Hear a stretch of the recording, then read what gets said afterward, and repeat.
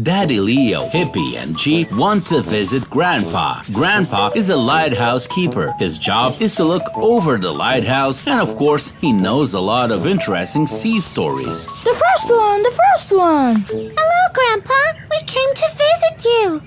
Hello, my darlings. Hello, Daddy Leo.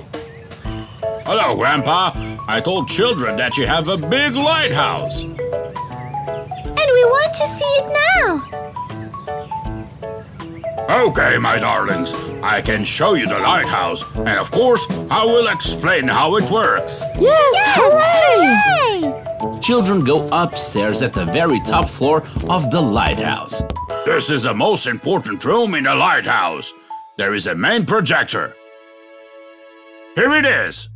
A projector is a huge lamp which could light with such strength that anybody could see it from far away. This light shows the right direction for ships during nights and bad weather. Is it your big binoculars, Grandpa? Yes, Hippie, I used to watch over ships and warn them in case of danger. Could we try it, please? Of course you could. Yeah!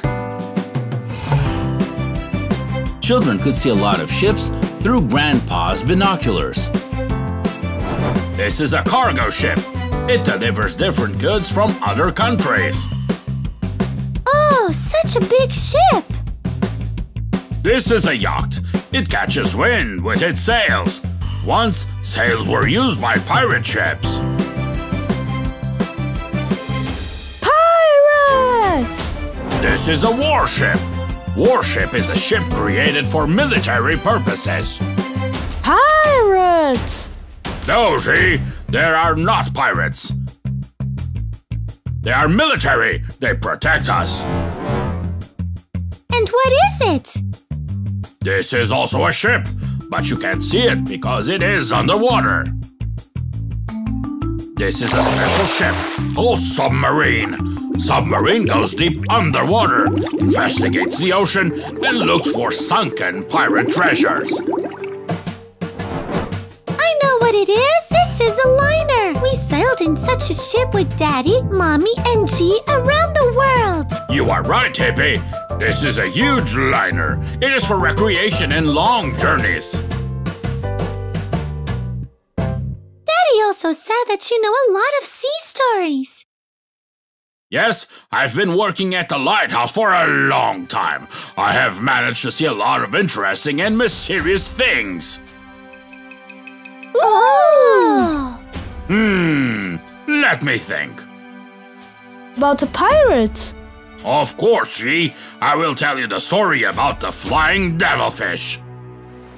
This was the name of a pirate ship full of treasures. There were enough treasures for a rich life of all the crew members. But the captain of the Flying Devilfish was a very greedy sea dog. His name was Wolf der Decken. He always wanted more and more. The crew asked him to stop and finally go to land, but he didn't listen to them. He said, Yo ho ho, nobody will land until we have the main deck full of treasures. Oh! At that very moment, thick fog blanket the flying devilfish, and nobody could see neither the seashore nor other ships. Nobody knew where to sail and what to do.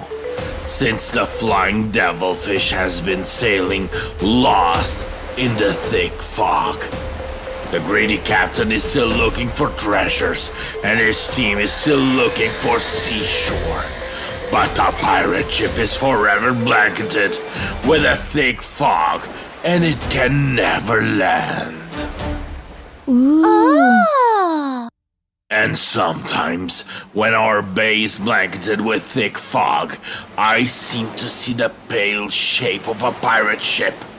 And in the wash of waves, I could hear the Captain Wolf der Decken crying into the void. Yo ho ho! Where are my treasures? Ah! Here you are, my darlings. Please help yourselves. These are fruits from our garden. Thank you, Granny. Grandpa, have you invented again a frightening sea story? Yeah, our grandpa is an amazing storyteller, as well as our daddy Leo. Oh, did you hear? What was it? Yo ho ho! Ah! Where are my treasures?